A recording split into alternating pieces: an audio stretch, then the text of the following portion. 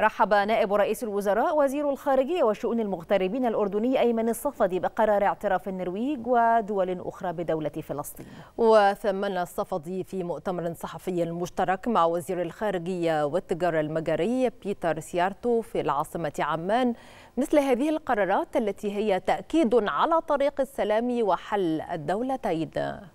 نثمن هذا القرار عاليا ونعتقد أنه خطوة أساسية وضرورية للرد